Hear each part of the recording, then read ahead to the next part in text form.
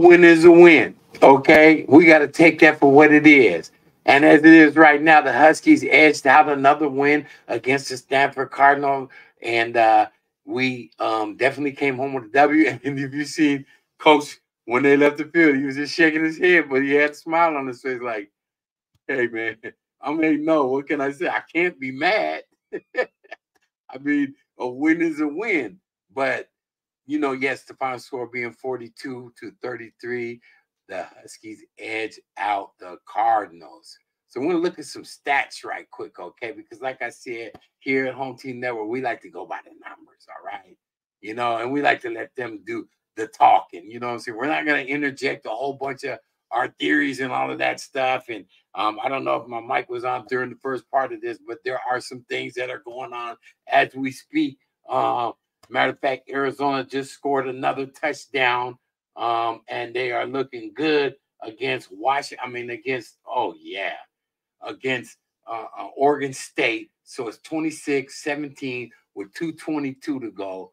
And like I said, the picture's clearing up as we go along, even as we speak. Hopefully, they can edge these guys out looking at it from a Husky perspective. All right. Here from the dog pound. I'm telling you like it is. And this just makes it so that these guys are getting tenderized before they come up here, before they hit the dog dish, okay? Because definitely right now, Utah's been tenderized. They got beat today too. They lost their um 19th home defensive stand today. And uh I was like, this is what I was looking for. I want Oregon to tenderize them before they get up here because all of these guys are coming down the gauntlet. They're coming down the gauntlet. So let's take a look at what the what the stats were today for them Huskies versus Stanford Cardinal. Now, Michael Penix, he had another stellar day. He had 21 completions out of 38 attempts for 369 yards. Now, some people would be like, uh, yeah, okay, he had a, you know, a B plus day, okay. But it's like if you look around the whole country, that's any other quarterback's A plus day. All right. We want we're looking for Michael Penix every day, game in and game out, to uh, come up with uh, 500 yards. Okay, that's not realistic. We we're looking for that balance, and we might have found a little bit of it today. He also had four TDs and one INT. All right, Daniels now, a lot of people was thinking that Daniels outplayed uh Penix. I don't think so. I just think he shocked everybody. You know, he came in with uh what 31 uh, completions out of 50 attempts. He was slinging that rock, but he only had one TD. Okay, and he totaled 367 yards. So he finished two yards behind Penix, who had uh, less attempts, okay, and more completions. So let's just go there. Penix outplayed Daniels, but it was notable. Daniels had a good game. He looked good. He also rushed today. He ran for some. That's where he kind of was the difference factor. All right. So let's talk about the rushing. All right. Our back, Johnson, he had 18 carries for 84 yards and one TD. These are the elements of time that got to start creeping into our offense to bring us that balance that's needed you know, so we can start controlling the ball. And that was a factor at the end. If you notice, the clock ran out. We took victory formation. I was like, yeah, okay, we're doing the thing now. We're doing what has to be done. All right. Our defense was staunch and they held them. We got the ball over on turnover on on on a, a turnover on downs, and we just ran the clock out. And Daniels, that quarterback, had 18 carries for 85 yards and two TDs. I mean, he ran one play up the middle. It was so wide open, we could have drive a U-Haul up through there and nobody would have touched it. it is what it is, though, you know. my thing is this: as long as these guys continue to have that uh, bend but not break attitude near the goal line, that's going to help us in the long run because we're going to get we're going to go against teams, and I'm hoping that our level of competition will come up. Now there were some uh, there were some issues uh, in the red zone. If you guys didn't notice, we had some turnovers, some crucial turnovers. I was kicking my kicking my furniture, kicking. Man, I was getting upset. Spilled the popcorn. I'm like, wait a minute, hold on. How did we how do we keep coming down inside the 10 yard line? You know what I'm saying? And we turning the ball over and we just blowing it, you know. One was a fumble, one was an INT. I'm like, get that. Are we are we trying to lose? Are we trying to lose? We don't want to make this, we don't want to make this conference look any more murkier than it does. Okay. We need a clear-cut favorite coming out of here so that when we do go into the conference championship and hopefully take care of business, then we could be a clear-cut forerunner for those uh, college football playoffs. Okay. So uh, running the ball, uh, receiving yards, I'm sorry. Um, Jay Polk had five receptions for 148 yards and two TDs. He looked nice out there. There was some drops out there. That's the other thing. Did y'all notice that? We had some drops out there that were crucial. And I'm like, wait a minute. Come on now. We can't start just not being focused you know, as we get closer on down, so you're like, oh, hold on, this is this is Stanford. You know, they're two and five, one and five in the conference. You know, and just not be focused. We we we have to be focused. In fact, what we need to be doing is out there uh, working out uh, next week's game plan on Stanford just to make sure we got it right. but he had a he had a good day, and uh, so did uh, um, Obinyana, however you say his name, but he did have a crucial turnover. He fumbled the ball, um, but he did make up for it.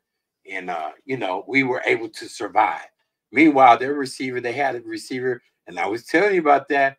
Oya Manura, I, I can't know, I don't know how to pronounce his name. Oya Minor, he had a big day. I kept saying, this guy, man, I've watched him throughout the season. He's a tough receiver. He's a big guy. He's hard to bring down, and he definitely got nice hands. He had nine receptions for 146 yards and one TD. Yeah, kind of scary. You know, when you think about it, like, wait a minute, man, we don't need this type of these kind of numbers working against us, you know? So what I look at right now is uh see where we went with uh total offense, okay? Yep, there is Rome Odunze's fumble, um, but most definitely, uh, uh, let's see, oh, quick. I'm just wondering, did they offensively outplay us? Because, mind you, for the last two weeks, we have been getting outplayed on offense, and the other team has also beat us with time of possession. Okay. Not a good look at all. Not a good look at all. You feel me? So it's close here. Okay. Uh, uh, our total receiving yards was uh, 21 receptions for 369 yards. Okay. We did have that long touchdown. Woo, thank God for that. That was nice. While Stanford, meanwhile, had 31 receptions for 367 total yards and a long of 53. See the balance, how close it was? Now, here's the catcher. Here is the catcher. Okay, rushing the ball, we rushed 27 times for 91 yards. All right. Meanwhile, they had 35 yards for 132 yards. So let me just do the math. Did they outplay us? Did they have uh, um, uh, bigger uh, uh, total yards against us. Again, it has happened. Again, it has happened. They have uh, uh, definitely um, another team, and this is just the Cardinal, mind you, that came in here and outrushed us with the ball. It's just sad, man. It's sad.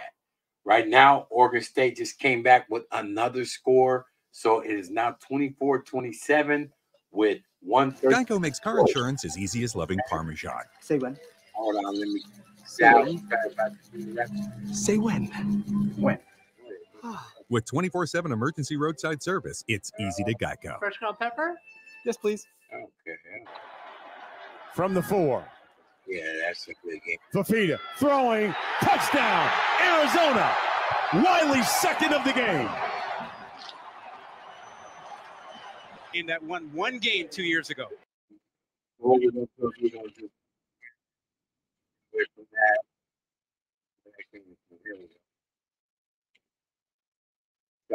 Again, looking at what we did out there on the field, is like we gotta just we just gotta get motivated to come out and play better ball. Okay, be more dominant out there on the field. Okay, right now I'm looking at the time. Um, there is 46 seconds left and it's 32, and they just got, I believe, uh, uh, Arizona just got the first down, and the Beavs have no more timeouts. It's close. It's inches. So it is starting to it's starting to get clear what what's going to happen here down the road. All right. Um, let's see. Right now, what I'm going to do is I'm going to go here to the Pac-12 um, the standings. I'm gonna give you guys. Let me get on here and share that. All right, and give you standings coming from the Pac-12, and this is what we're looking like. Everything is starting to uh, show its uh, it show its hand. USC is looming for us.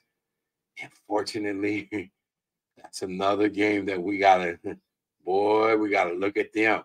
We gotta look at them. You know, Oregon State um, looking like they might just lose this game. Yep, it's a first down. That's the game.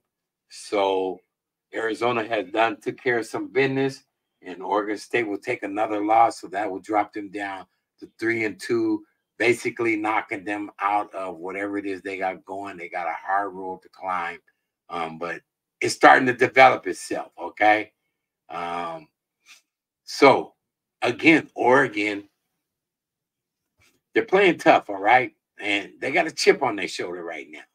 They got a chip on their shoulder. USC survived. Okay, they survived. They were losing. They are boy, they survived. They got a one game winning streak going, and they survived. So Oregon is is uh looking at winning. They've won two games now on the streak, and of course, there's us with eight games won, no losses. But yes, most definitely, man. I look at it like this, man. That Utah game, that's what we needed. We needed that to happen, okay? We needed that to happen, you know, because we're trying to get Utah to come in here and be a little bit tenderized, all right? Get them out the way, do the thing that we need to do and just be like, okay, let's just gear it up now. All right. Yeah. The USC game, that just shows you, man, that they're struggling. again, they had to score 50 points to beat a Cal team that was three and five. They barely won 50 to 49. It was a good game for entertainment purposes, but that should have sent us a message like, you know what? All we got to do is take care of business. That's all we have to do. That's it. Let me get over here right quick and let you all see this right quick so you can see what's going down. All right. One second. Looking at the schedule. Boom. So this showing you just some of the things that are going on. Um, uh, Colorado, unfortunately, they took it. I like Colorado, man. I, I, I, am pulling for them. I want Deion and the rest of the team to have a good season. But this one was significant. Watching Wazoo go down hard against ASU. And so these guys are getting tenderized now. And we'll be seeing these guys here in the Apple Cup. All right. In the Apple Cup. And uh oh, oh boy, are we gonna be looking at some things that's gonna that's gonna be, you know, eh, let's just face it, this is the last Apple Cup for the Huskies and and Wazoo. Everybody's moving out of the Pac 12 uh, Wazoo is staying, but we're out of here, and this is the last one. It's a sad day in Pac 12 history. So, right now, Look like the Cougars are going to be coming in a little tender. All right. Uh, season's basically a wrap for them. Um, I don't even know if they're going to make it to a ball game, but we'll see. Also, the same thing for Colorado. I don't know if they're going to make it to a ball game, much as they be hating on Deion, hating on the guy. So, most definitely, though, FC still on the board. We got Utah still on the board at, at six and two. Um, it's still open, but it ain't over till it's over, okay? But most definitely, shout out to them dogs, man, for pulling off, man. I believe I do got some highlights that we can show you, and, and, and we'll do that. Let's watch some highlights of the game, okay? Let's do that.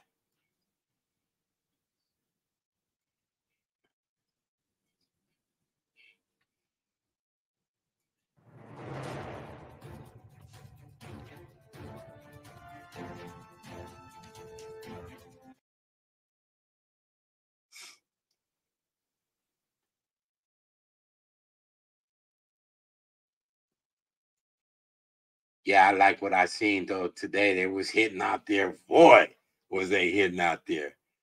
I'm surprised that wasn't a, a one of those unsportsmanlike calls, but we still punched it in on them. All right. Huskies handled their business down. That's all I can tell you. They took care of business, and that's what matters the most, man. You know, like Coach said, a win is a win. All right. Just doing some reactions right now. That quarterback was standing tall, looking pretty good. That's that receiver I was telling you about, man. he, oh, that was their tight end, but they also got a receiver that was just he will make you mad. It's like, how does this guy keep getting open? Look at how wide open the middle was. Remember I said that? Could have drove a U-Haul through that joint. It's like, come on, man. What kind of defensive set was that on the goal line? Look at that. Come on, man, stop. Well, these are the some of the things that we got. Even the coach is laughing like, I could have ran through there. so uh here we go. Penix on the screen. We looking good. Like I said, we're involving the tight end screen. He looks nice. He looked like he could play some running back.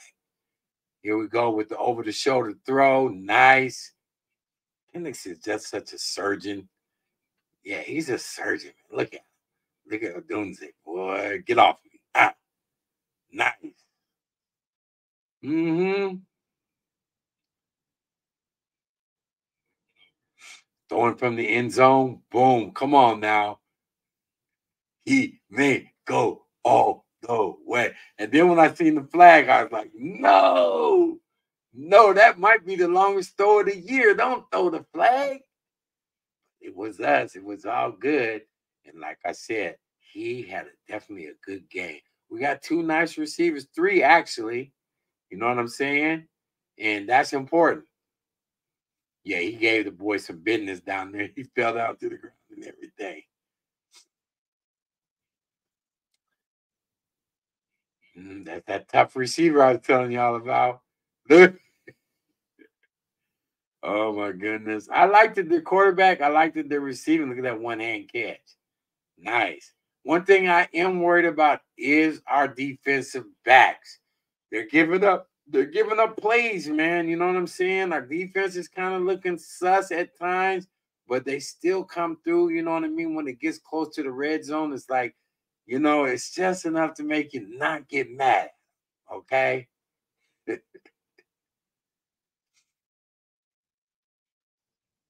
here we go. Um, the kicker, the kicking game was good. Everybody basically was hitting all their stuff. And this one went off the uprights into the doggone, into the doggone zone. It was good.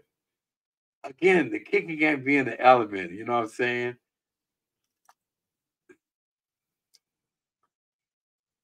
Look at how we get beat, man. This I don't like seeing that week in and week out. There he is. Our reminder. Hey, your monitor. I don't know how to say his name, but he's a tough guy. Man, he's tough.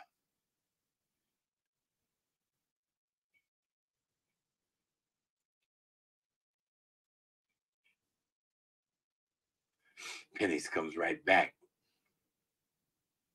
That was the one right there where they took it out and brought it all the way back down. I was getting spooked right now, and there they go again. This one, I believe, yep, that's the quarterback again.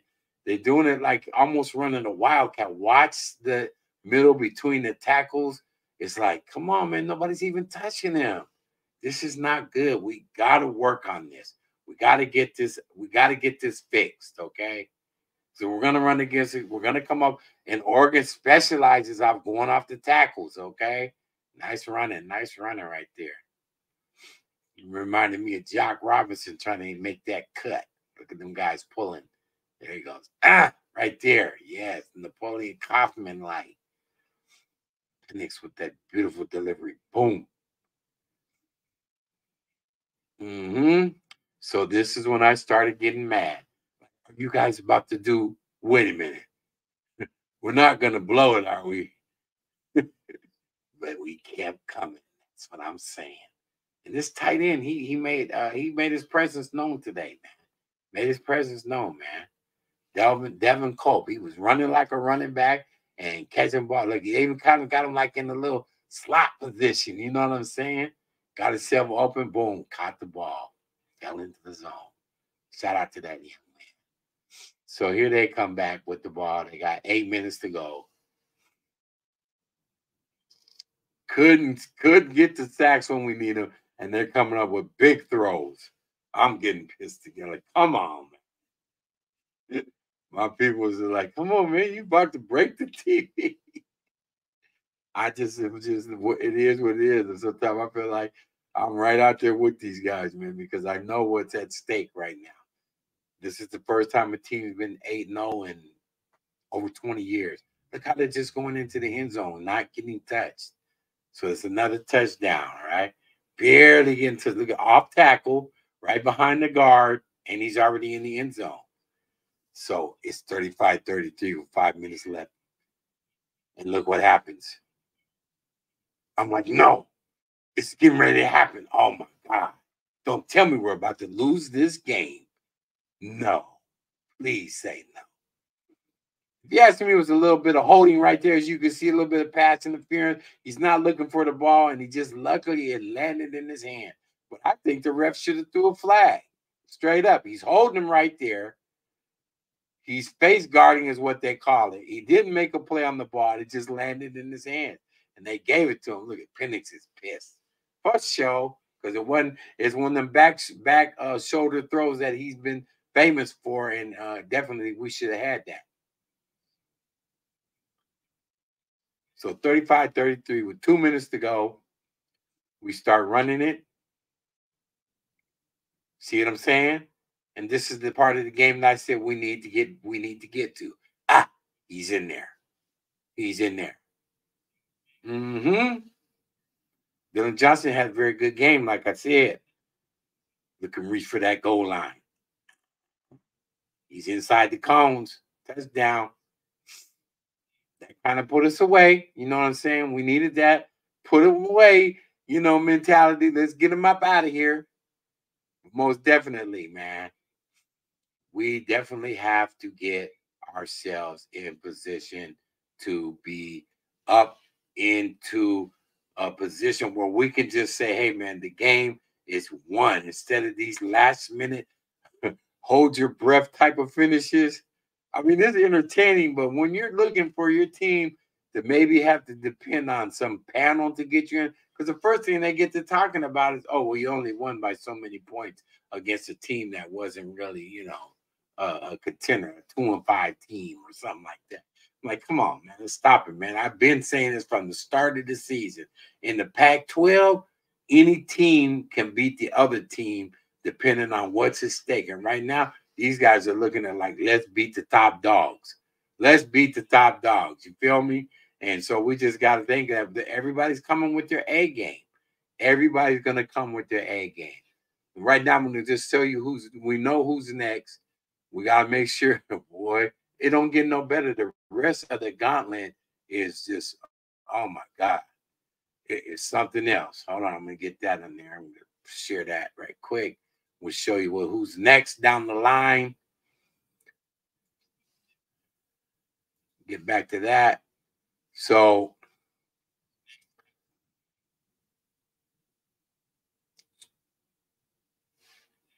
okay, yeah. So that's final. Wazoo loss. Okay, I'm gonna look at the full season. So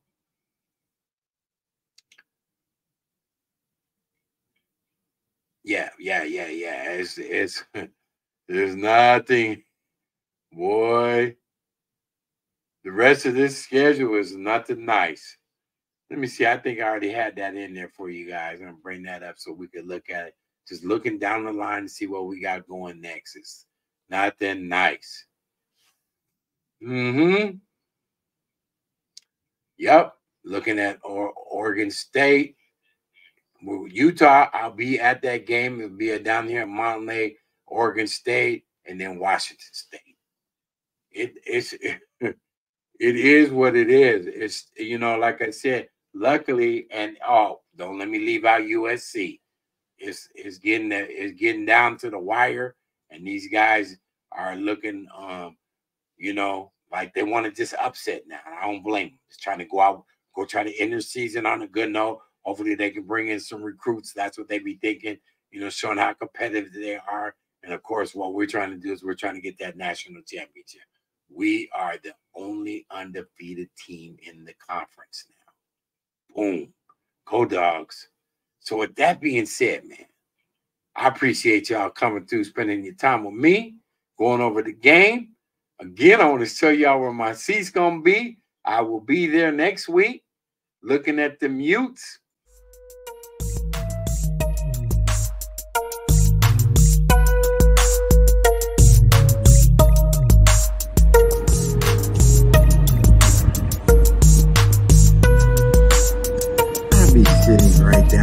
Here and about this side as you can see there's no bad seats in this whole place. Definitely lit up. The team has already departed going towards the motel for tonight the hotel for tonight. Um, TV cameras are set up. Game day is going to be outside. We're going outside right now. Home team network live here at Montlake Husky Stadium. Make sure you subscribe like and comment and hit the notification bell. Let's go, Huskies.